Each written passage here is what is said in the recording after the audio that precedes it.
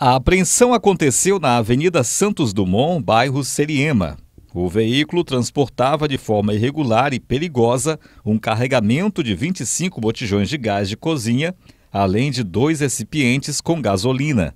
O transporte foi flagrado por policiais militares que faziam o patrulhamento com o uso de motocicletas. Estava fazendo uma ronda né, é, nos bairros da cidade, com a minha equipe da Esquadrão Águia, e já na Avenida Santos Dumont observei um veículo suspeito, inclusive transportando uma carga um pouco estranha, né?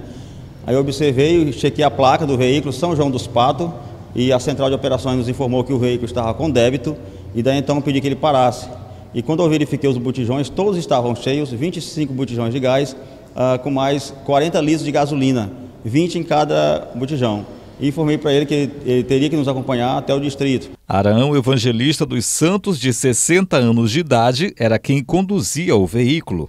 Ele não aceitou gravar entrevista, mas informou que o gás seria levado para abastecer um comércio de sua propriedade na cidade de Aldeias Altas. O motorista disse ainda que não costuma fazer esse tipo de transporte. As autoridades alertam quanto aos riscos de transportar produtos inflamáveis ou perigosos.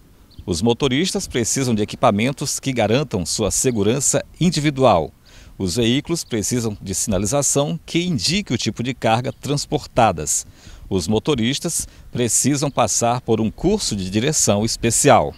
Conversamos com um tenente do Corpo de Bombeiros de Caxias. Ele explicou como é feito o transporte correto desse produto. Então, geralmente transportar ele não é, juntando com outros combustíveis, não juntando com outros materiais inflamáveis, seja ele combustível automotor, materiais sólidos como carvão vegetal, enfim, outros, e transportar ele também da maneira mais é, é, da maneira mais arejada e da maneira que esse combustível não venha a ter colisões com outros objetos.